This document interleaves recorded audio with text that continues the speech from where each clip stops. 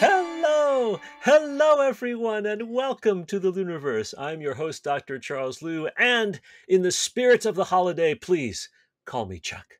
What holiday are we talking about? Of course, Halloween. Yes, this is a special Halloween episode, and it's such a pleasure for me, as always, to introduce my co-host, Allen Liu. Hey, Allen. Hello. Yes, printed out any really cool headgear lately? That's a trick Hmm. question. Any of you watching on the YouTube, um, for those of you who aren't as well, um, I have a 3D printed Elrond crown on my head right now. Yes. So, yes. uh, The uh, Lord job. of Rivendell. Ah, yes. J.R.R. Tolkien's classic about all those kinds of cool things.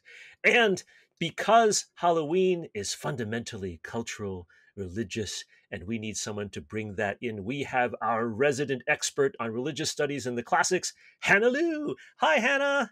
Hello, I'm excited to be back. And I, I did know. not 3D print my headband. Oh, but I still like it. It works perfectly. Uh, uh, we have again saturated the LIUniverse with three Lus. Perhaps we can have even more next time.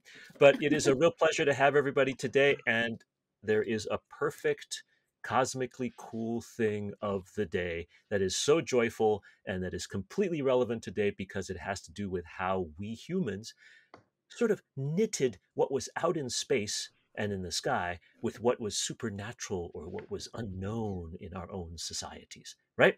So, Yeah. Allen, today's joyfully cosmic cool thing of the day is the comet. Yeah, so it's Comet Tsuchinshan Atlas C2023A3, I believe is the n- numerical designation for it. That's a really easy name to remember. Yeah, right. 2023, the year it's discovered A3 because it was discovered in like the first part of the year, so that goes like A1, A2, A3, all the way down. Yeah, so this comet uh, is has been visible through uh, late September and October. Um, if you're hearing this around Halloween time, it's probably a telescope object at this point, but it has been a naked eye object uh, for some of its orbit around the sun this time. Uh, the Right. trick with it is that it is a Oort cloud comet. People think so. It's from that farthest out region of the solar system where there's a bunch of really small icy things orbiting the sun on these really really long orbits um, this is potentially the first time that it's made it into the inner solar system and it may be kicked out of the solar system entirely after this because of the gravity of the planets just knocking it back out into interstellar space It's marvelous. And and I gotta tell you, Allen, the, the fact that it's an Oort cloud comet is really remarkable to me. Do you know how and why we were able to know that? Just because of the uh, incredible strangeness of its orbit? Is that what happened? Yeah, I think the idea is that if you sort of extrapolate where or extrapolate backwards where it must have come from gravitationally speaking, um, you can see that it goes farther out even than you know Pluto and the rest of the Kuiper Belt objects, which is the other big region that comets come from. Yeah, Um, and the so- Oort cloud for for our audience is almost halfway out to Alpha Centauri. I Yeah, mean, it is yeah, a the edge huge, of the Oort cloud is, like, huge space. Entire light year away, and yet it's Right. still gravitationally dominated by the sun because the stars are so far apart. There's nothing else to knock them around. One sort of historical nice note about this is that so this comet was visible in the morning hours, and then it sort of swung between us and the sun, and now is visible in the evening hours later. Um, so the first comet that sort of people had uh, interpretations of its orbit, I think, was the Great Comet of 1680, I believe, one of those years in in that era, soon after uh, Newton had begun working on uh, his theory of gravitation. Um, these people saw a comet on one side of the sun and then on the and then on the other side of the sun, and some astronomers were starting to think, hey, maybe this is actually the same comet. You know, they didn't know whether comets were an atmospheric phenomenon or a planetary scale phenomenon like we know them to be now, um, and they were just starting to figure out these sort of laws of physics and that idea of a comet you see on one side of the sky and then the other side of the sky was one of the big reasons that people were able to sort of deduce that these laws of physics that Newton was working out actually had some validity to them. Yeah, yeah. I will get to that in a moment because it is cosmically cool for those reasons. And there is a famous comet, of course, that helped bridge that gap Yes. to explain comets and orbits and so forth. To be to be described a little bit later. Uh, but Hannah, comets, how frightening were they? How amazing were they? How did our early ancestors think comets manifested themselves and to do what into our societies and our lives? Yeah, uh, well, frightening probably isn't the word that I would use. I, I Oh. think there was some, maybe some existential fear of like, there's a thing and we don't know what that is, and it looks pretty weird compared to normal stuff. Yeah. Uh, but it certainly wasn't as scary broadly as like an eclipse, right? Where the sun goes away and you're like, Yeah. ah, is it coming back? I don't know. Uh, the comet isn't really going to probably do that. Um, and I think ancient people knew that. But it Yeah. certainly used comets to predict events or respond to events that perhaps were a little bit frightening. Certainly awe inspiring. There's a big sign from above, something is weird in the sky, and that has to Mm. mean something. Maybe the Mm. king is going to die. Maybe the crops are going to flourish, right? Who knows? yeah. Okay. So it was ambiguous, just weird. Yeah, Okay. I think yeah, awesome is Right. maybe the word I would use. It, in like true sense of awesome. It inspires awe, but- Awesome. but Yeah, definitely uh-huh. ambiguous. And also, people historically have used the appearance of co- of comets in the ways that they want, right? Mm, yeah. Oh. If I'm the Wow. king, I might say, "Ah, this comet signifies that the gods love me," right? Yeah. But if I am the one who wants to protect, who wants to be the king, I might say, "Ah, the comet signifies the gods hate the king." ah, Ah. yes. well, wait, doesn't that, that reminds me? Isn't it true that there is a comet in the Bayeux tapestries that describe William the Conqueror coming into England back in the 1066-ish kind of time? Hmm. Yes. that is I believe that too is- modern for me. I don't Yeah. know. that's fair. I believe I can. Yeah, we can probably put a picture of it because that's probably public domain at this point. Um, But yeah, stuff from the 1060s probably public domain. right. Well, um, the impetus for doing this Halloween episode, aside from the fact that it's Halloween, Yeah. uh, came from, as you two know, the fact that I recently had a book out called the Handy Quantum Physics Answer Book. Yeah. and uh, it was way uh, I, I had fun with it it's a wonderful book uh, it came out during the summer and what happened was a lot of people uh, wound up asking questions of me in interviews about the book regarding things that were mysterious uh, Mm, things yeah. might even call like paranormal uh, i was asked about everything from superpowers and superheroes and so forth to things like ghosts and and mysterious uh, what we might think of telepathic or telekinetic activities just what we, we broadly classify as paranormal but just things that aren't usually seen in our regular uh, scientific existences. And i was asked uh, does quantum physics explain these things? That's actually surprising to me because you know for me no quantum physics i'm not a quantum theorist uh, as my research specialty but i use quantum physics in my regular daily research life all the time or even my regular life right? I mean the part of the reason we're able right now to be talking to one another over the internet is because we have some small sense of how quantum physics works with electrons and photons and information and things like that. But it made me think that you know what? There is a lot about the mysteries of science that links up with these superstitions of the past that have led us to create these um, historical or cultural kind of phenomena, right? And so, why not devote a cool episode on some of those things and, and talk about how the history of these semi religious unknown things led us to go toward the unknown in a different way with different steps and led us to Mhm. science, right? Yeah. So, so Hannah, uh, as the ancient Meister, what is the history of Halloween? Now, now, wait, wait. Now, you're obviously not ancient, right? You are young. Uh, I am the ancient oh, here. thank you. Yes, you guys are the youngins, and you always will be, like in my mind. But um, yes, Eh, as the specialty uh, person here, knowing the ancient stuff, what's the origin of Halloween as we know it today? I was gonna say I I like the ancient Meister title. That's pretty cool. Ooh, okay. All right. Although I am Meister not ancient, that is true. Thank you, thank you. That's fair. uh, well, the history of Halloween uh, goes way, way back, uh, although it wasn't called that until much more recently. Um, originally, Halloween was, well, comes from a holiday called Samhain, which is a sort of Gaelic, Irish, Scottish, uh, ancient uh, festival that would happen between the autumnal equinox and the winter solstice. So actually, like maybe kind of right in the middle. Oh, mm, like yeah. a harvest festival or like like a... a... harvest festival. Yeah, it could have been it's a little unclear the origins of the date, so it could have been a harvest festival that seems pretty likely uh, given this is harvest season. Um, certainly, yeah, in Europe at the very cer- least. Certainly in Europe, yeah. uh, it also is the season when uh, shepherds would move their flocks from their mm. summer fields to their winter grazing fields, mm. and then perhaps also do some slaughtering as well. So it could have been also motivated by that harvest adjacent.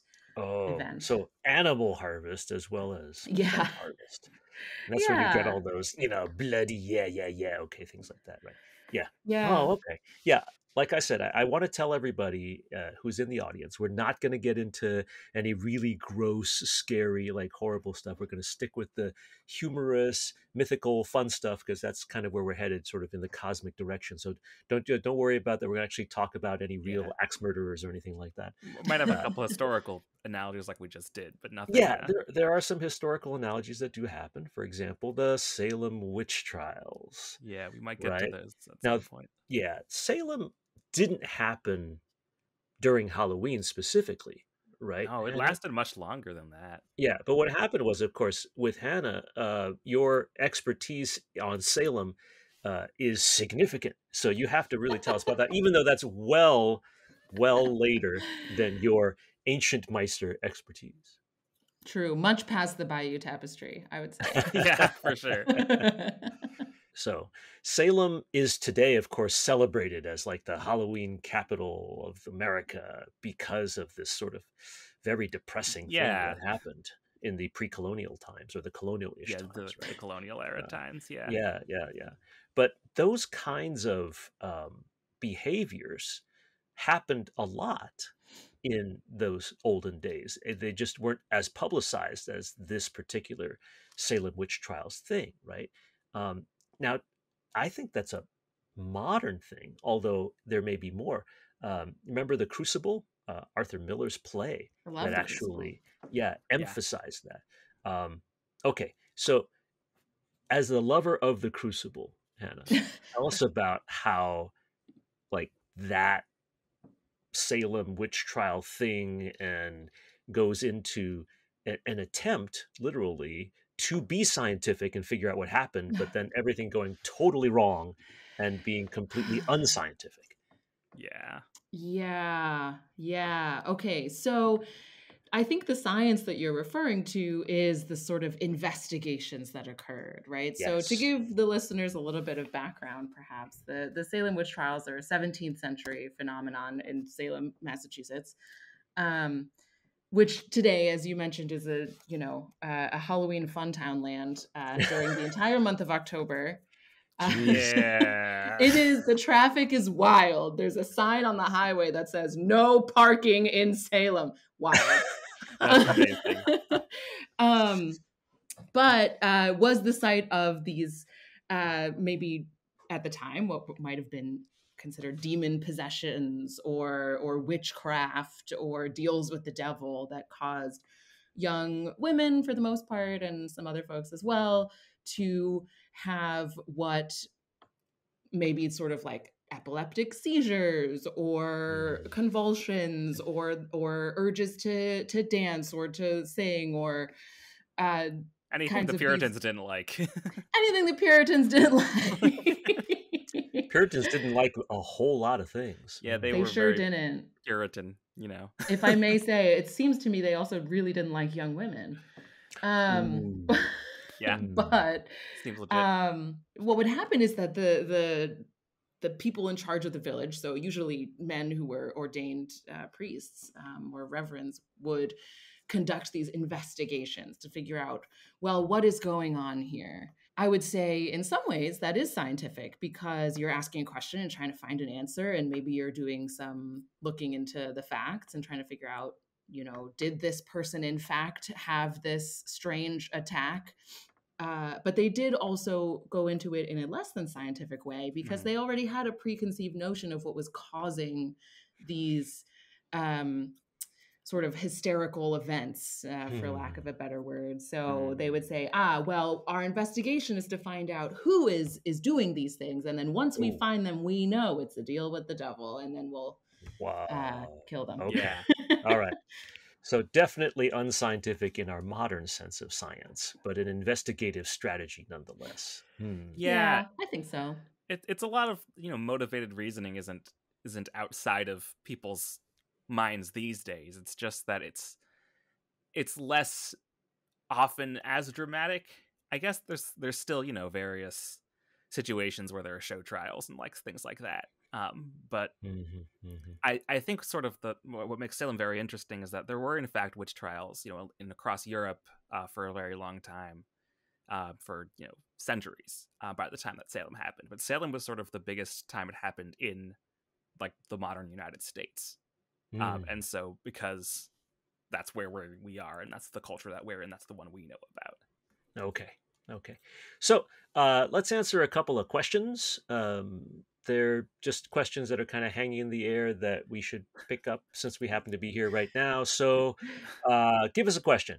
All right. Well, here's a question. Uh, yeah. So we for, for our Halloween episode, we're just coming up with questions and answering them. So we're just we don't have any specific sources, but we've we picked them up from the milieu, plucked them out of the Okay. aether, perhaps. Ooh, So this the first- aether, not the ether. Oh my goodness! maybe. Interesting. It's, it's Yeah. that elven pronunciation there. Yes, exactly. about. Yes. Maybe All right, they so were here's- provided by the Aes Sídhe, which are the, the fairies of the fairies of Samhain. Oh, there you Oh go. Oh my gosh! Which, Even fun fact, I have no confirmation for this, so maybe it's not a fact, but tis the season. Uh, Yeah. So an alternative spelling for the Aes Sídhe, which are these uh, sort of like old Irish fairies, is Mm-hmm. basically the same spelling as the Aes Sedai in Robert Jordan's Wheel of Time series, and I feel like maybe he got that from there. That That's all I'm seems saying. plausible. Yeah. Yeah. Wow. All right. We so here's our, him. our fairy question. Um, do full moons affect behavior? Ooh, do full moons affect behavior? Well, of course, uh, werewolves, right? Uh, yes, werewolves, of course. Yes. Well, I mean, like, of course. if we're talking about about non-human or semi-human creatures like werewolves, you can imagine like you know sea turtles, right? When they hatch, they tr- sort of follow the moonlight, and you know moths follow the moon, uh, Hmm, supposedly to figure out where they're yes, going. they do. Well, it is true. I mean, when you have extra light floating around, Mhm. light sensitive animals and plants will react to them, right? So that's actually true. Now, the issue of behavior, the human behavior and the complexity of human behavior, that's a little bit more complicated, right? Because uh, if you look at the full moon, say, any impact on human life other than the extra light it provides in the middle of the night, Mhm. it's negligible compared to any other time of the month, right? The moon's distance hasn't changed very much.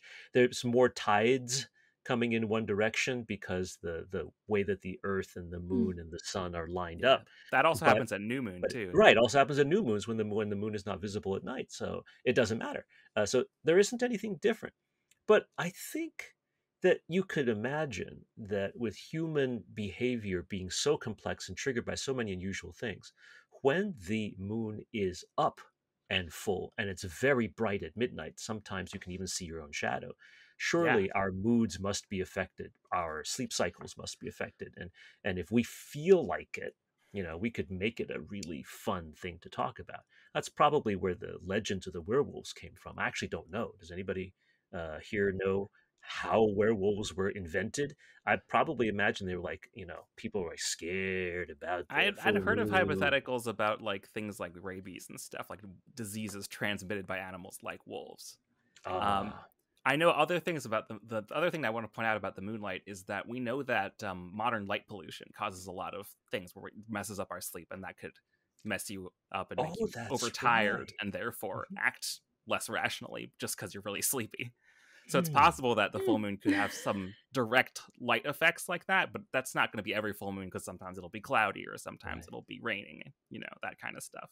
Mhm. I mean, the full moon has an effect on my life when I'm like, ooh, the moon is full. I want to go for a walk in the woods. Like, Yeah. fun. Ah, okay yeah, yeah. I imagine the moonlight is going to be the most significant effect of, on human physiology. I think. right I think Okay. also a lot of this is you know the sort of pattern matching, right? When people see something weird that happens on the full moon, they'll attribute it to the full moon.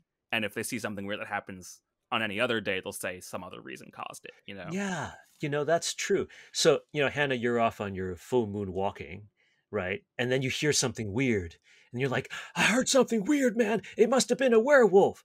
Whereas if you're walking in the new moon when it was dark and you hear something weird, you might be like, Oh, I heard something weird. It must not have been a werewolf because it wasn't a full moon. It must have been a vampire or, you know, right, or a, right. Exactly, exactly. know, I mean, this uh-huh. is this is a classic human behavior, not just noticing patterns, which is something that we do Mm, Yeah. mm. naturally, but also trying to fit in whatever's happening to your cultural context. If you've Right, heard yeah. about werewolves before and something weird happens to you on your moonlight walk, you might be like, oh, that makes sense. It's a werewolf. Or like you're driving through the Pine Barrens in New Jersey in your pickup truck and something's behind you. You're like, oh, that's the Jersey Devil, obviously. Clearly it's the Jersey Devil, yeah. Whereas if you were in Oregon, it'd be Bigfoot. So Exactly. Okay. Exactly. Okay. Exactly. I I actually do have uh, an interesting fact for you about the origin of werewolves. oh, Um, oh, Ooh. talk to me. So I don't I don't know if this is the origin origin, but there's a story in Greek mythology of a guy named uh, Lycaon, uh, where Oh. you might hear the word lycan in there, like wolfy, Yes, like you know? yeah. in like lycanthrope, uh, anthros, of course, meaning man. Uh, so uh, a wolf man. Oh, Mm. That would be Wolf Greek. man. Uh, no, That's a heavy, different man. guy. That's Heavy. a different guy. Oh, that's Uh, he was Yeah, uh, that's he was a king, um, Lycaon, who tried to trick Zeus uh, into eating human flesh, which Zeus doesn't like. Uh, contrary to popular belief, human sacrifice was not really a thing in ancient Greece. That's not. They didn't do that. Uh, Uh-huh. That was frowned upon. Um, and so uh, Zeus turns him into a wolf. Oh, That's uh, pretty fitting, I guess. Yeah. well, how about that? Hey, yeah, that, and, that works. tha- that's where the word comes from. I don't Mhm. know if that's you know the original original myth, but it's a cool fact. Lycan, pretty cool. Andros, uh, Wolfman. Yeah, That's great. You guys are too young to know about Wolfman Jack, aren't you? I have heard of the name. Actually, you Wolfman guys are probably too young to know about like disc jockeys in general, right? Because you put on your heard of your streaming jockeys. stuff. Oh, I know what a disc jockey is. Okay. Anyway, Wolfman Jack, you know, hey, heavy man, brother.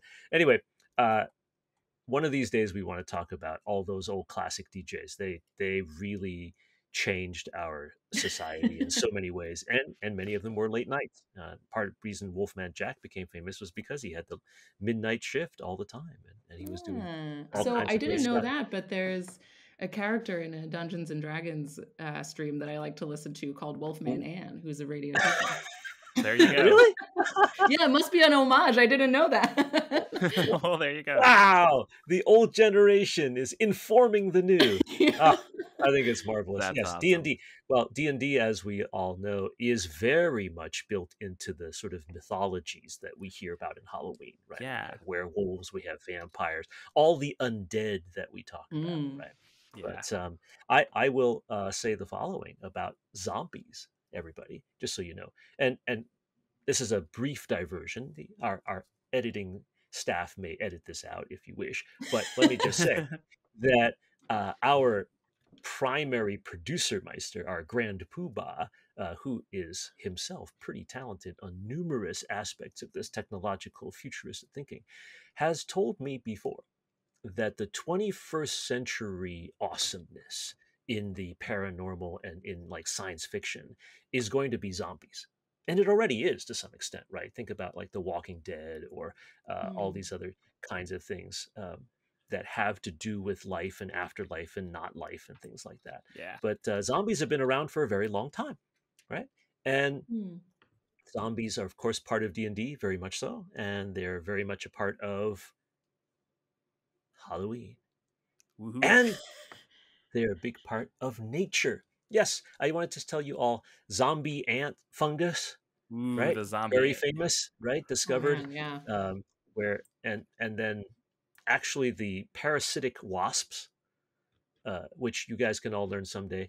Um, yeah, the majority of wasps in this world are not the kind that build big nests that hang out with us, but rather they are predatory.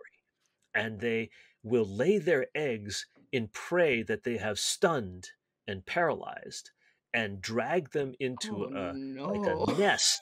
This is And the yes, grossest part of the episode so far. This is yeah, this is it. When the eggs hatch, the eggs, uh, the larva will actually eat the zombified uh, bug that was jabbed by and paralyzed and poisoned by the wasp. Uh, That's pretty distressing. it- That it is, pretty really distressing. Halloweeny. It's Yeah, very yeah. Halloweeny. Oh Uh-huh. my gosh. Mhm. Oh. Uh, there is a well-known version uh, in the American desert. It's called the tarantula hawk. It's a wasp that specifically uh, seems to be able to get big spiders. Uh, yeah, so that's a little gross. Spiders with wasps in them. That's uh that's pretty Halloween. That is I know. nightmare I don't know- fuel. Yeah, I don't know. I don't know why the horror movie people haven't made horror movies about parasitic wasps yet. They're all talking about the, the Coming the out of tarantulas? Get yeah, for sure. here. The ant outta fungus, is, you know, has inspired things like The Last of Us or The Girl with All the Gifts. You know, those Oh, are those are pretty pretty uh, directly nature inspired. But the parasitic Right. wasps, I don't think are uh, nearly as uh, as common in in Hollywood. right and and the the zombie ant fungus of course are um they're insect pathogenic Yeah. right in other words they they can nail those poor ants and you know force them to go up and try to get uh, more sun and then they, their bodies burst and then the spores of the zombie Yeah, ant fungus spread Yeah, that's the that's Yeah. the kind of ant fungus. it's great stuff but but we humans have not been affected except in fiction right Yeah, Uh, right. Um, there's an idea that because our brains are larger, warmer, and like more complicated, that it's a lot harder for funguses to take over our brains.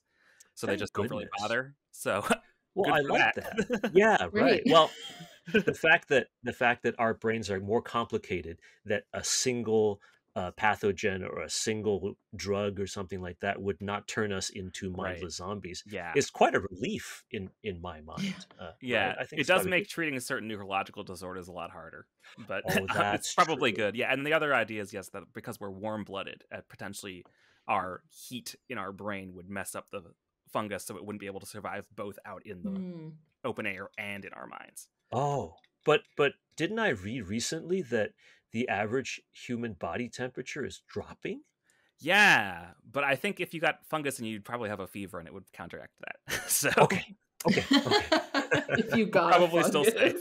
Yeah. I feel much better. I feel much Yikes. better. Okay. All right. So I have a question for you, Hannah, because your headdress specifically is feline in nature, right? now we've talked about where wolves. What about where cats? I mean, cats. Where Of panthers? Hmm. Cats show up in Halloween all the time, right? Ah, Probably yeah, the the most black popular cats. animal, the black cats, which Along are with the the familiars of witches and things like that, right?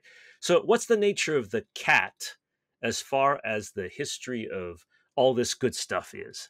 Uh, do you have any any insights on why we've picked certain animals to be uh, witches familiars or uh, mythological stuff? Historically speaking, did the ancient Romans or the ancient Egyptians have particular uh, fondness for particular animals? You know, how does that lead us to where we got to go? Oh, so the black cat is an interesting, interesting animal. There, there's not actually like a ton of sort of historical associations with it being um, negative influence. Actually, uh, cats are great. cats Yeah. are cats will kill the rats. You know, cats Yeah, will your protect your farms and your grain. Exactly.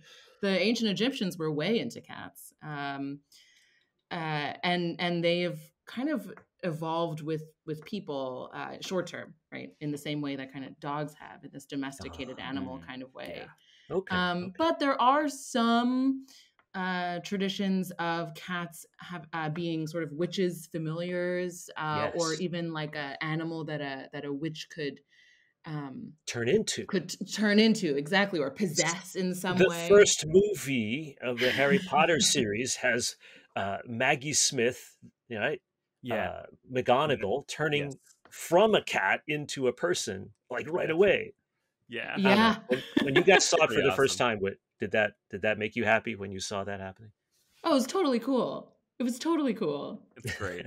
the CGI was great because they don't show it the first time. They just show the shadow, and you're like, oh, I guess we won't see it. But then they show it to you later. It's very cool. But wow. again, we have the witch and the cat, right? This is a mm-hmm. known yeah. trope.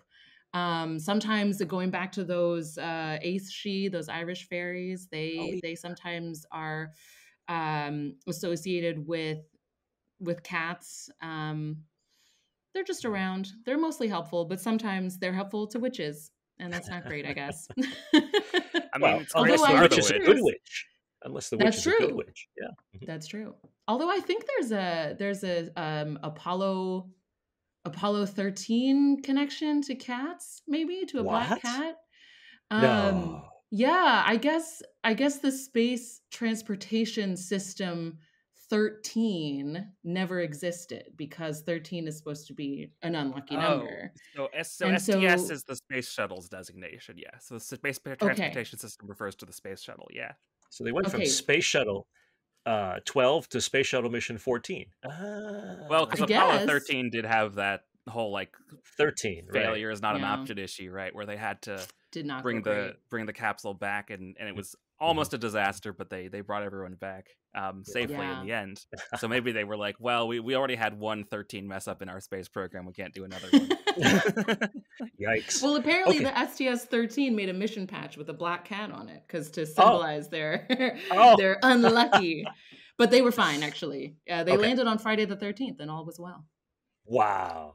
Mm-hmm. That makes me very happy. Yeah. Okay, good. All right, let's get a couple more questions in before we run out of time, and we can go about this all night uh, and until the moon is full, and we can walk around in the dark, right? Um, yeah, uh, Hannah, is there a question that you have wanted to know, like uh, pull the the quantum world and the non-quantum world together into some sort of fun mashup for Halloween? Well, I in my research for this episode, I came across the uh, you'll have to correct me if I'm wrong, the Great Galactic Ghoul. yeah. And I would love to hear more about that. the Great Galactic Ghoul was uh, funnily. Oh, yeah. Yeah. With, correct me if I'm wrong, okay? Allen, I know you've got uh, some historical about knowledge this, about this. Funny. Yes.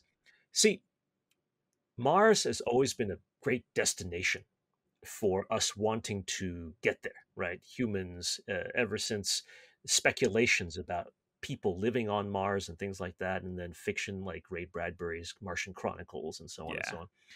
So we've sent, we as a species, humans, have sent a large number of probes to Mars. Yeah. But for almost the entire history of human space exploration, only the United States and NASA has ever successfully landed a spacecraft on Mars. Mars yeah, probes. And, and that was like a weird thing. Like, you would send, okay, the US sent something, yay, Viking, it landed, woohoo. Well, the, the Soviets sent something, it's gone. You know, the Japanese sent something, it's gone. The Chinese sent something, it's gone. It's like, oh, ho, NASA has landed the Pathfinder. Right. You know, NASA's, NASA's had its share of failures also. There oh, was oh, the yes. one where we did the metric to imperial conversion oh, yes. wrong. We, have had oh, plenty oh, no. of failures as oh yeah. That that wasn't the ghoul at oh, all. That no. was the, the, great weenie mathematician who failed to convert units properly. It was it was it was a subcontractor was the thing. It wasn't even like mm, it was like someone had contracted out part of the program to a different company, and they were like, "Oh, this number is clearly in feet per second, but it was actually in meters per second. Oh my goodness! Mark your units, kids. Mark your units. Right. Exactly. Mark your units. yeah. So the Great Galactic Ghoul. This is an idea where it's like Mars has some sort of creature that eats space probes. Ooh. Mm. Munch, munch, gobble, gobble, gobble, gobble. All Got right. it. I that, thought maybe that's... it was that guy's face. Remember when there was that image of that dude's face on Mars? Yeah, it didn't even look oh, like a dude. It just face like a... on Mars. Yes, it was, it was, like two dots in a line, and it was like it's a face. well, this is a, that's a classic human react. That's called pareidolia. That's it is. Uh, yes, that's when humans make faces and stuff. Like you never look at the front of a car and you're like, oh, he's smiling. Like, yeah, exactly. It's, it's, pareidolia. Yeah, it's the same oh. vibe. Also Greek yeah. comes from the word uh, eidolon, which means like ghost, actually.